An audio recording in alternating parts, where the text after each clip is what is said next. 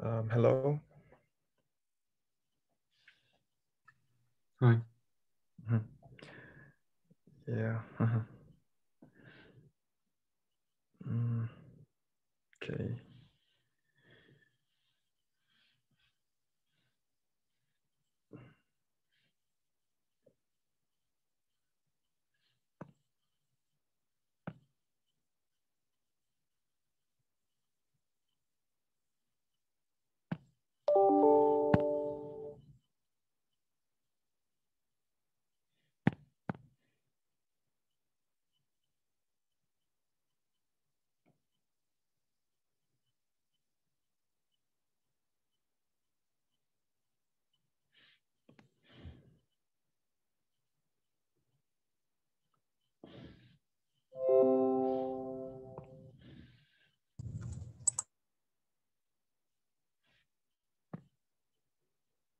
Um, yeah.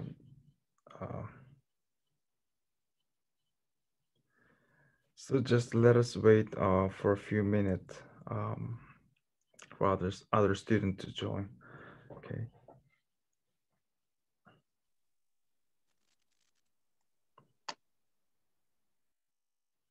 Maybe we can wait um, two more minutes.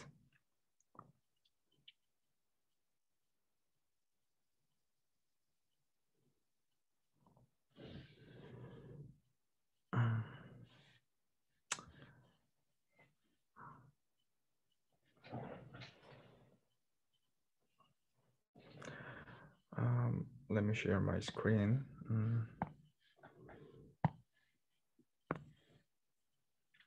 Okay.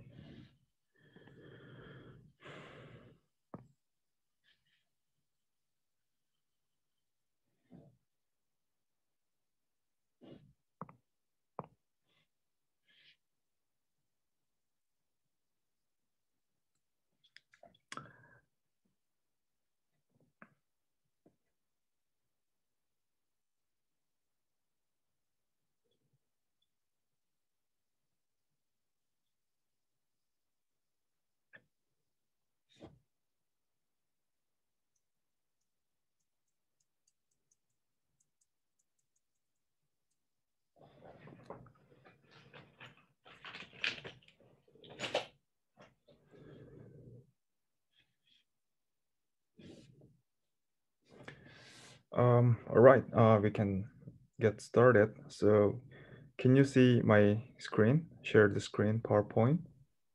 Yeah. Yes. Okay, yeah, thank you very much. So, um, yeah, in this lecture, we're gonna uh, discuss about array antenna. Actually, we have learned about uh, single Hertzian dipole antenna. Um, we have like a piece of wire, and then we get uh, current flowing along this um, metal um, wire, then it'll radiate EM field so that uh, we have um, calculated the radiation pattern in in a far zone. So um, the radiation pattern looks like um, donut shape, so that the power um, was radiated over a whole um, azimuthal direction. Okay, so that actually it was um, it is very um, these properties um, appropriate for uh, Wi-Fi antenna, Wi-Fi appli up, uh, application. Um, actually, yeah, you can, you have, yeah, looked this kind of a Wi-Fi antenna. Actually, it is not dipole antenna, it is um, monopole antenna. It has just a, a metal bar here. But yeah, you're gonna learn about the image theory later so that if we place the monopole antenna on top of like a metal um, surface or a ground, then its performance um, is equivalent to that of the uh, Hertzian dipole antenna so that the user can easily access um, to Wi-Fi network. On the other hand, um, um, on the other hand, um, one needs like an antenna with high directivity. For example, the uh, 5G application, uh, uses millimeter uh, wave like uh,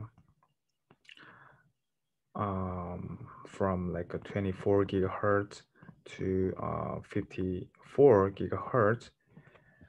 So in this case, uh, millimeter wave can't uh, travel well through the obstacles uh, because they are uh, significantly absorbed by plants and rain so that the protocol should be different from the 4G. Actually, 4G uh, application, we have a base base station and then um, base station um, spread like a uh, signal um, like a, uh, three uh, different um, directions so that the user can access the network. On the other hand, um, in this 5G application, uh, we should uh, place like a, um, a lot of like a, a small cell antenna uh, around this um, this large antenna so that um, actually they should communicate uh, point to point wise, okay? So in this case, uh, we need uh, antenna with high directivity. Likewise, um, automate, automotive radar uh, should be able to detect like an object in the vicinity of the car in real time and um, should be able to uh, measure where exactly the object um, are and also the um, distance between vehicle and um, object. In that case, uh, radar um, radar should have like a, um, antennas with a high directivity or uh, and the beam steering capability. So in order to do that, um, actually we can use the array antennas. We can place a lot of um, dipole antenna um, periodically or aperiodically uh, so that uh, we can make uh, this like a sharp beam or the high directivity. So it is um, it is for the point-to-point -point, uh, wireless communication. So in this lecture, uh, we're going to derive like a far field um, radiated by an array of Hertzian dipole antennas. Particularly, we're going to discuss a linear phase array, and we're going to see how uh, this array can enhance the directivity. And also, we're going to um, consider two examples, a broadside and end fire arrays. And then um, we are going to briefly look at um, when this far field approximation is valid. Uh, particularly, we're gonna derive like a condition uh, for us to use, like safely use this uh, far field approximation. And then we are going to talk about like uh, three different zones, uh, near, Fresnel, and far zones, uh, widely used antenna design and measurement, um, okay, so um, let's recall um, what was the radiated field from um, uh, current density J. So without any approximation, the exact form, exact form of the vector potential uh, was given by like um, uh, mu, the permeability, and the volume integral over the volume of this um, um, current distribution.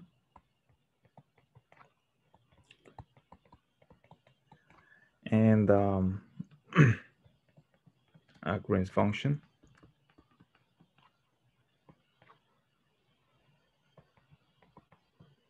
where uh, beta is a wave number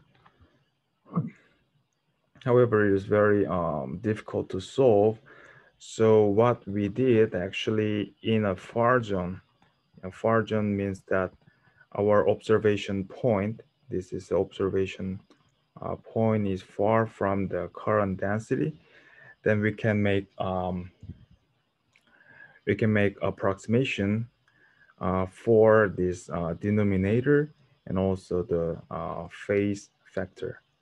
Okay, I'm gonna call that um, amplitude, amplitude, and phase approximations.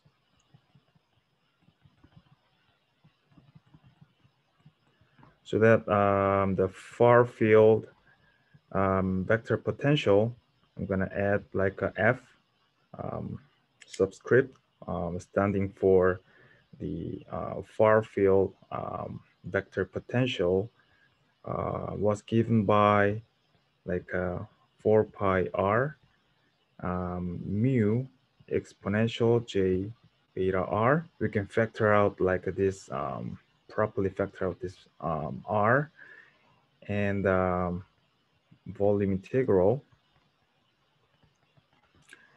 and the current distribution and um, just exponential j beta dot r dash. Uh, by the way, um, this r vector is like a position vector, ordinary position vector, okay?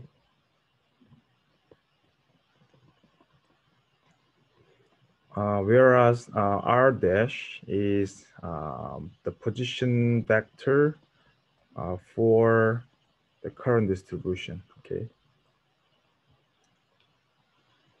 So this is r dash, this is r from the origin. And you can actually, let's say this is the equation one.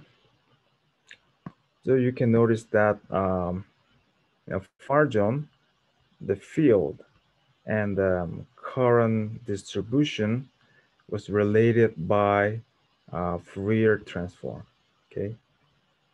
Like a um, integral and the kernel with the uh, exponential function so that they are related by uh, Fourier uh, transform. So we can easily calculate um, the far field vector potential. Um, actually, we did not specify the current uh, distribution. So uh, let us now specify the current distribution, um, which models um, array of Hertzian dipole antennas. So we're going to assume that um, this is the X and Y uh, two-dimensional um, space. We're going to place um, dipole at D naught and D1, D2, and so on. Okay. So we have like, let's say we have an N number of Hertzian dipole antennas. Okay. So, um, and also, let's say that so that the current distribution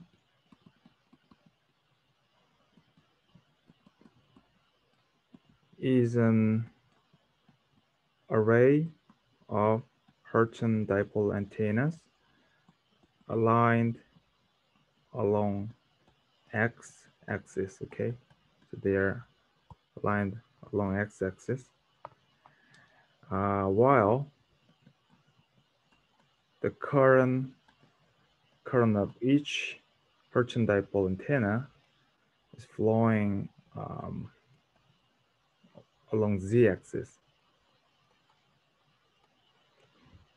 Okay, so yeah, current is flowing um, to the direction perpendicular uh, to this paper. So then we can write explicitly write the current distribution in this way.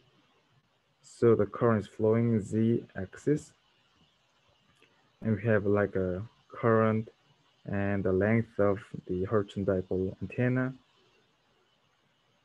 And um, for the first Hertzian dipole antenna has like a amplitude and um, it is placed x dash uh, minus d naught, okay? Actually, um, this is x dash. And the second, um, actually the second Hertzian dipole uh, similarly um, x dash minus d1 is blah, blah, blah.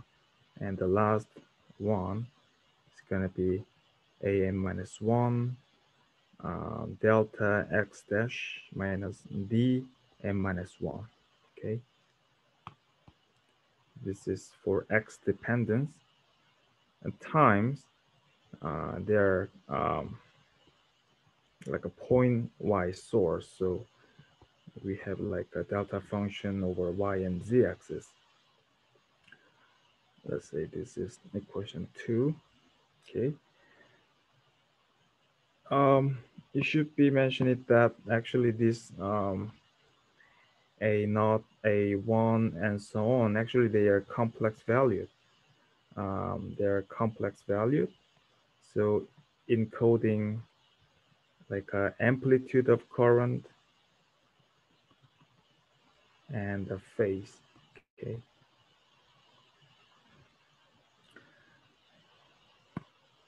Um, and then what we're gonna do next, uh, we're going to substituting, substituting equation two to one. Um, then um, vector, the far field vector potential is gonna be z hat 4 pi r mu i r just uh, substituting this current distribution to the vector potential. Uh, exponential my j uh, minus j beta r and the volume integral uh, dr dash and just uh, um, rewriting whole things inside this uh, volume integral. Blah blah blah. A n minus 1 dash n minus 1 times delta y dash delta y z dash exponential beta dot d dash r dash. Okay, so in this case, I mean the beta um, vector is going to be beta um, r hat. That's because the wave is um, propagating along um, r hat direction, radially yet uh, propagate. Uh, but our observation point on xy plane, this is our um, observation point. So in this case, uh, this direction r hat is going to be a rho hat. So beta rho hat, rho hat can be uh, written x hat um, cosine pi phi uh, plus y hat uh, sine phi, okay? And also, what is the r dash? Actually, our dash is the um, the position of the current distribution. In this case, the Hertzian dipole antennas are aligned along x-axis. So x hat, x dash, okay? So that um, beta vector uh, inner product with r dash is going to be just the um, r dash cosine phi, okay? So we're going to um, plug in this term to this integral so that, um, and then, I mean, it's gonna be exponential j x dash cosine phi. And then we're going to perform this volume integral Actually, the calculation of this volume integral is very easy. That's because we have just a delta function with this exponential function. We can use the delta function shifting property, okay? So um, the vector potential, the resulting um, vector potential in a far zone is going to be z hat 4 pi r mu i l exponential minus, minus j beta r and just uh, just uh, a naught uh, exponential um, j x dash is replaced by d naught, okay? Beta d naught cosine phi plus a 1 exponential j beta d1 cosine phi blah blah blah and the last term a minus 1 exponential uh, beta d n minus 1 cosine phi okay? So this is gonna be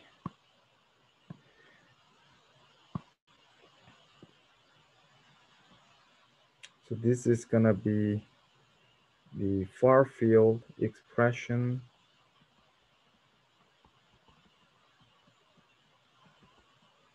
uh, for an um, Hertzian dipole antenna array. Okay, the generic Hertzian dipole antenna array. Uh, so are there any questions so far?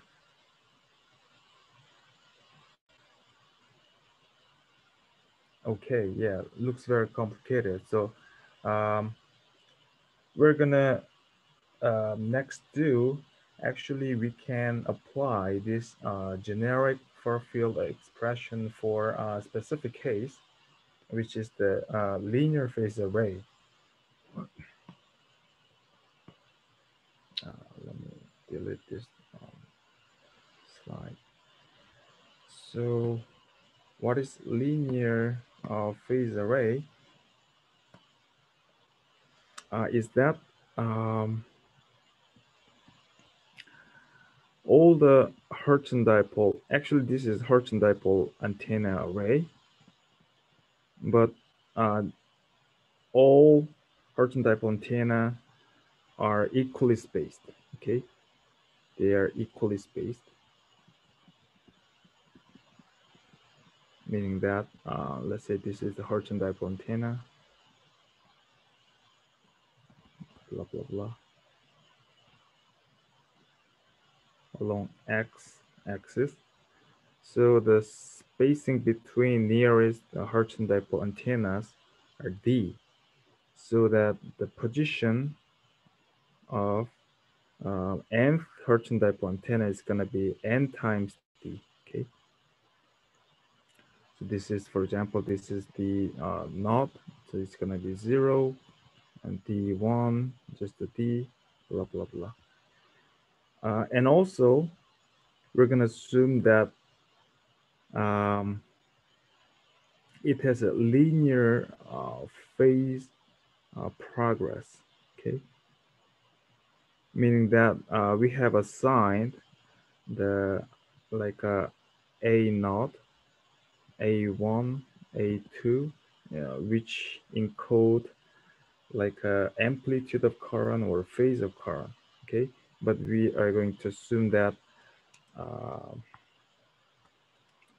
A naught, A sub n takes the form of exponential j and uh, psi. Okay, this is not phi, this is psi.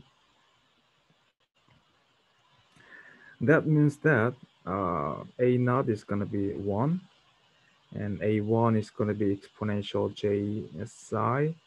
It's going to be uh, exponential J 2 psi so that the relative phase difference between um, adjacent uh, Hertzian dipole antennas is going to be uh, just a psi, okay? The relative uh, phase difference between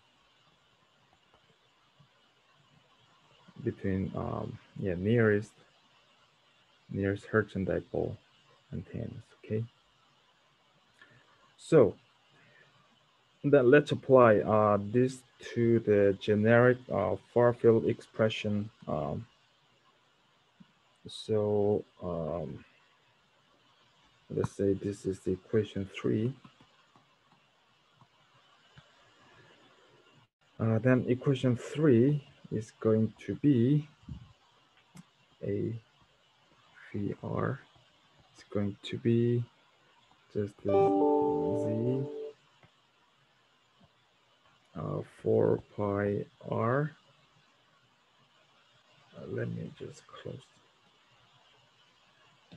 Sorry about that. Um, mu i l exponential j beta r all the same but uh, now we have this a naught is going to be one and there the um, the phase term for the uh, first type antenna is one so that it's going to be one and plus exponential j beta d cosine phi plus phi.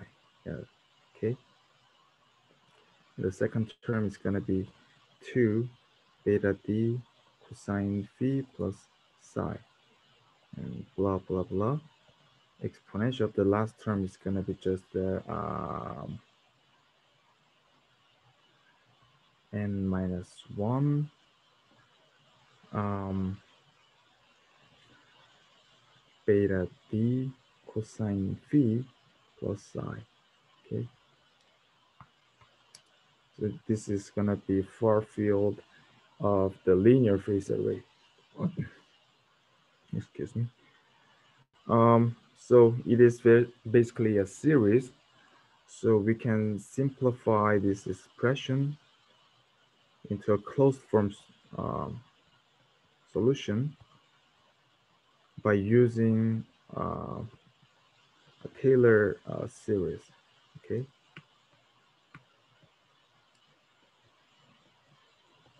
So in Taylor series, uh, actually we can assume that uh, this term, this whole term as like a x, and this x uh, zero, x one, and this is gonna be x two, blah blah blah, so that it's gonna be uh, n from zero to n minus one, uh, x n.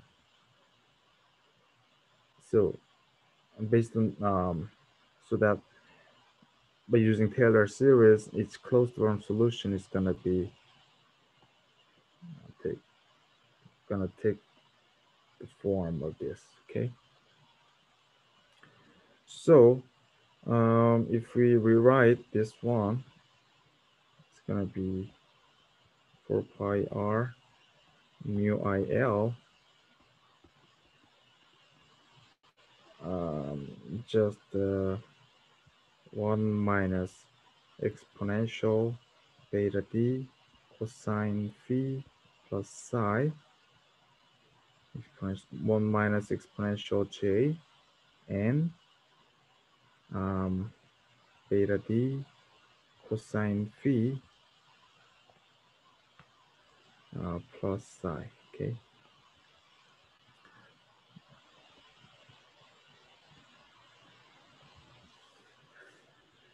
So um, yeah, very um, complicated uh, mathematical manipulation. We uh, finally arrived at uh, arrive at this uh, expression.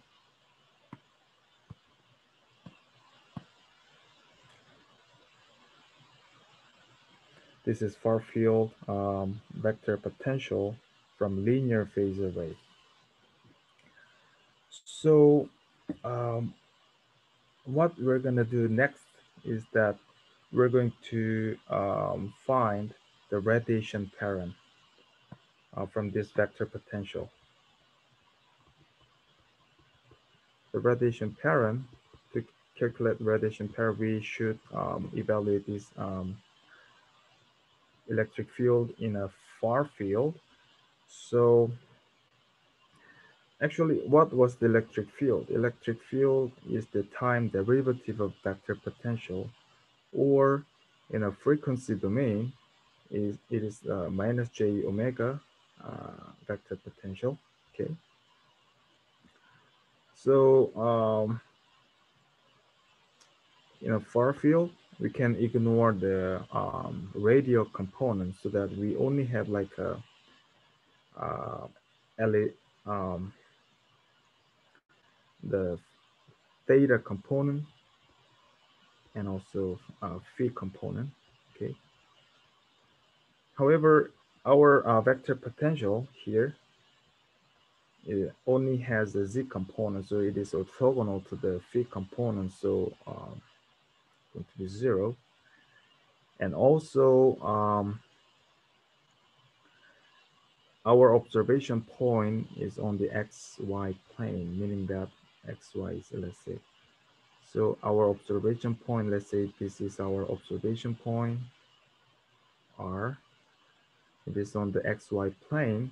In this case, the theta is going to be pi over 2, so that A theta uh, looks like this. This is the A theta, so which is like a minus, uh, minus Z and AZ, okay? So that uh, it's gonna be just the J omega um, vector field that we have found here, okay? So the radiation pattern is just the um, the absolute value of the electric field. So let's evaluate the uh, absolute value of this um, electric field. So just the electric field is just the j omega times uh, vector potential that we have found, and we cannot uh, we can factor out all the factors um, into the A naught, which does not depend on a phi. okay, for example, like uh, J, uh, J omega and mu IR, uh, something like that. And then um, we have like uh, this term, which depends on phi, 1 minus uh, exponential j beta d and cosine phi plus psi 1 minus exponential jn beta d cosine phi plus psi. Okay.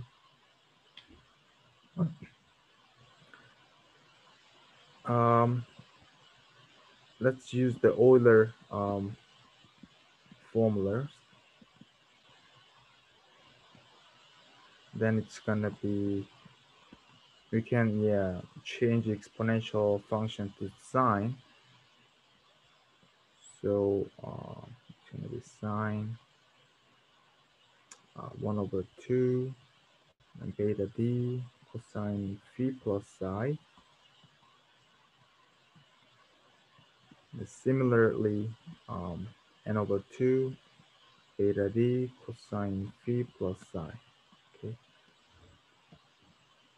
so let's take a closer look at this term. So what is this? Uh, actually, uh, this looks like a um, sine n x over uh, sine x, uh, where x is this this whole term. Okay. Actually, this is like a this is called a digital um, digital sinc function.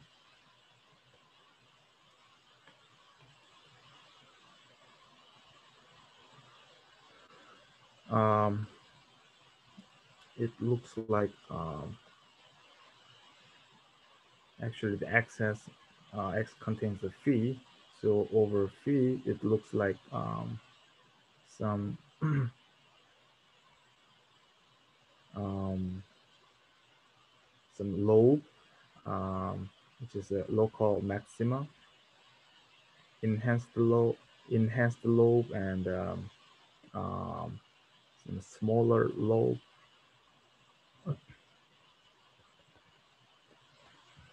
So that um, actually this is the uh, radiation pattern.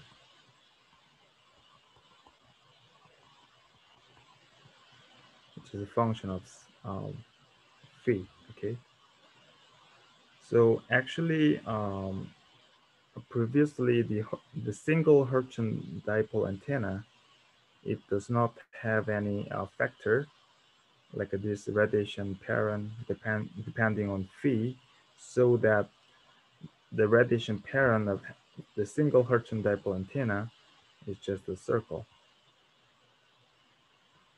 It means that it radiates power over whole azimuthal direction. On the other hand, um, if we make them a linear phase array, linear uh, phase array, then depending on n and um, depending on n and the psi and the beta t, yeah, it, it can um, we can achieve like a very sharp beam with some side lobe so that um, it can radiate uh, more power over a specific direction in this case, like a uh, um, phi, for example, yeah, phi zero or phi uh, is equal to pi. So that uh, we have uh, like a high directivity compared with the previous the single Hertzian dipole antenna. Again, this is the yeah, key result of this linear um, array. The physical uh, reason why we have this term, why we have this enhanced uh, factor is that actually the um, array of this Hertz dipole antenna, the field produced by uh, each um, dipole antenna are constructively interfere with each other so that uh, for a specific direction, it has a uh, constructive um, interference, but in some direction, in some direction, it has a destructive direct um, interference so that the smaller power um, is radiated over that direction, okay? This is constructive interference, is destructive interference. Um, so are there any questions so far? Nope, uh, we have only uh, 13 minutes. So yeah, let me uh, go over um, re remaining part faster. So yeah,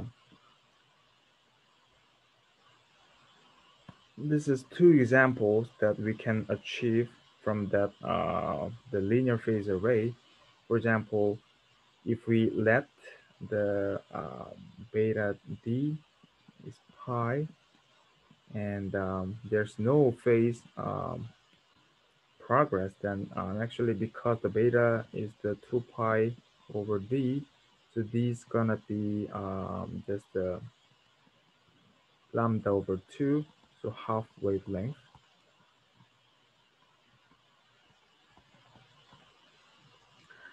There's no phase um, um, progress, and also in this case, total number of the array is gonna be five. So yeah, we have like a, a five Hertz dipole antennas. And then if we calculate the this equation six, with this parameter, actually we can obtain this um, field pattern, okay? So we have a, a main lobe, main node here along the broadside direction. Actually, broadside direction is defined by the direction um, perpendicular to the aligned axis of this Hertz dipole um, antennas, okay, in this case, x-axis. The end fire direction is defined the parallel with that axis, okay? So all the arrays are constructively the red I mean I mean the radiated fields are constructively interference um, along this broadside direction. On the other hand, the smaller lobes or side lobes are formed along end fire direction. Uh, on the other hand, if we set the beta d as a pi so that the d is gonna be half wavelength, but in this case, the um, there's a um, linear phase like a pi, and if we set like a total number of arrays four, and if we similarly if we calculate the field in equation six, then we can obtain like this uh, radiation pattern. In this case, it is interesting to uh, observe that the main lobe is formed um, along uh, end fire direction. That's because we have a um, linear phase, um, non-zero linear phase, okay? So then um,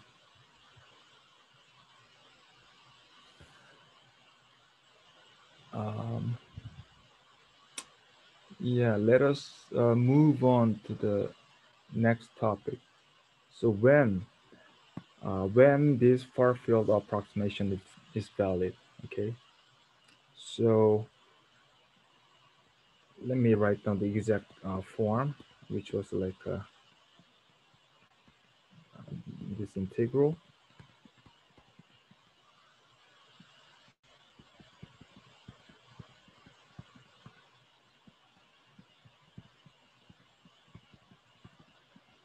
And the far field um, with approximation is gonna be uh, 4 pi r mu exponential my j beta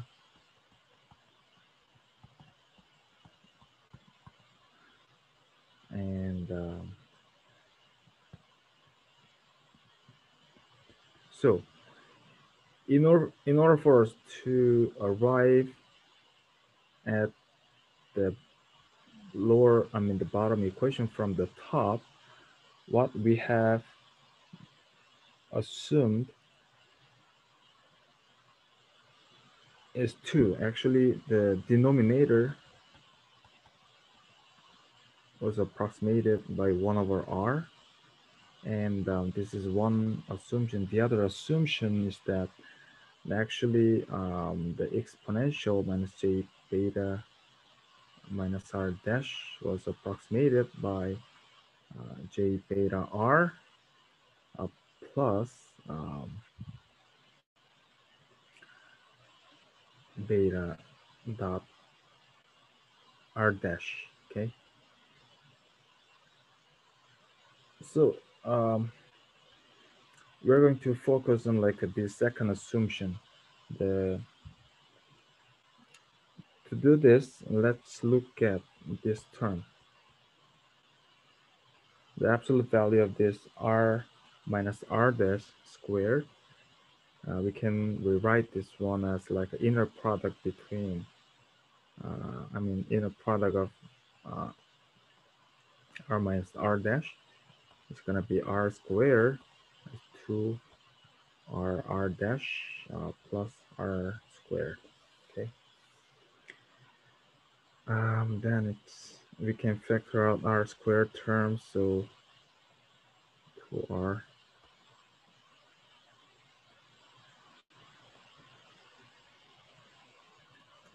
Now we can take the square root of it then the r over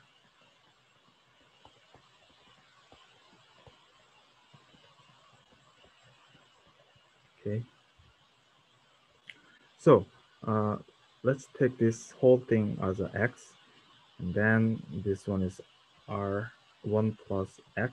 We can um, use this Taylor series so that um, it's gonna be 1 plus 1 over 2 x minus um, 1 over 8 x squared blah blah blah we can um, explicitly rewrite this so that uh, what we have is r minus r hat r dash. Uh, by the way, r is the r hat times r? R hat is unit vector. And plus 1 over 2 and uh, r dash square and r that's 1 over 2 r hat dash r dash square r. So actually it turns out that um, if we take the first two terms from um, this um, for the absolute value of this displacement uh, vector, then it's gonna be uh, the far field approximation for uh, the phase vector.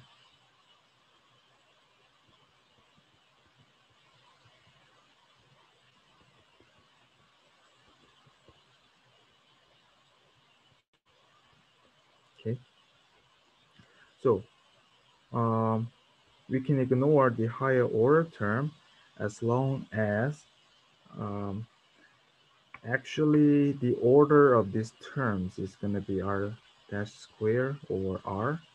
And also um, r hat dot r dash is always uh, less than r dash. So it is also of the order r dash squared r. So that um, if we multiply the beta this order and if this order is going to be uh, far less than unity, so that uh, we can ignore uh, this higher order term, okay? So that we can recover the um, far field approximation. So again, if this condition is ensured, then we can use uh, far field approximation.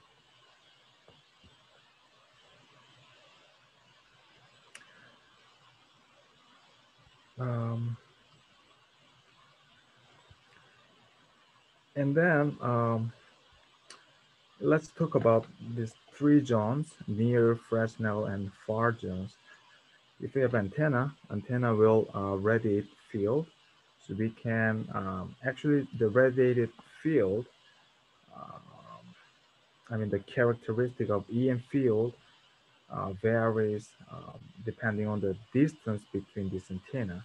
So we can uh, broadly divide the region into two, I mean the near field and the far field. Of course, in a far field, we know that the radiated field um, can be approximated by a spherical wave, the wavefront.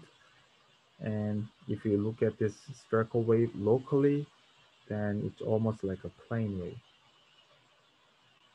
Okay, the, what is the property of plane wave is that electric field is perpendicular to the magnetic field and also they should be perpendicular to the uh, propagation direction. And uh, near field um, can be further divided by two regions. One is that um, reactive near field. The other one is the radiative near field. It is also called the Fresnel um, region.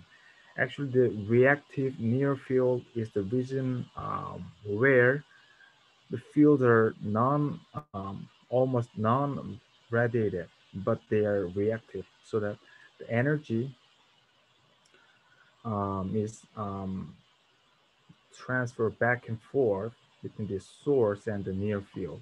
So this is the reactive uh, energy. Um, in the uh, radiated near uh, zone or Fresnel zone, actually field um,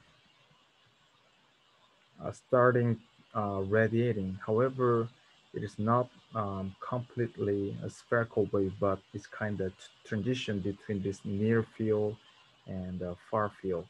So fields are um, still uh, significantly vary with the um, distance. So it's kind of intermediate uh, zone between um, non-radiated and um, radiated far field zone.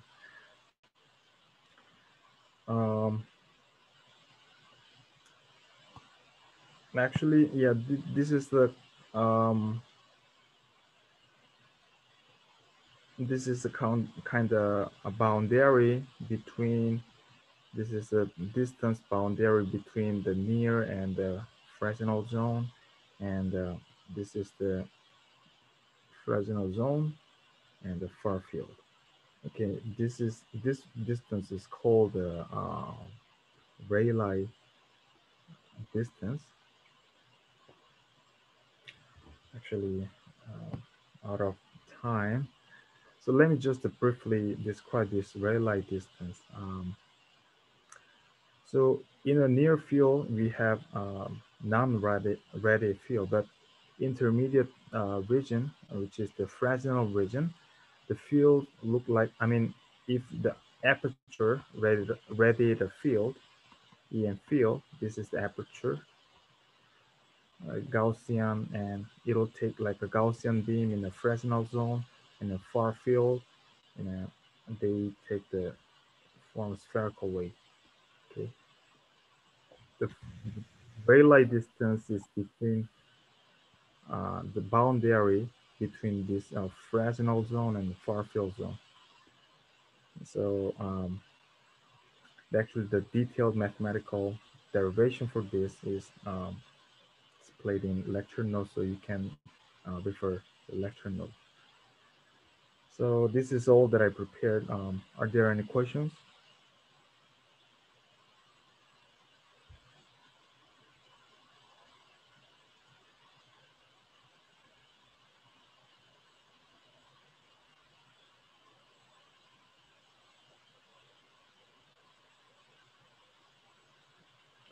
Um, yeah, um, very complicated mathematical things, but again, the key idea is that if we make Hertzian dipole antennas in an array, uh, this kind of um, factor appears so that we can achieve the high directivity.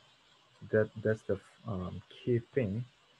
And depending on the design parameter, like uh, D and uh, linear phasor, we can make broadside uh, antenna or end, end fire antenna and we have um, inspect we have inspected like a, uh, um, condition when a far field approximation is valid. And also we have discussed about near Fresnel and far zones and uh, characteristics of um, radiated, I mean, um, field created by antenna uh, in each zone. Okay, um, so we can stop here. So thank you for joining uh, today. Thank you. Thank you.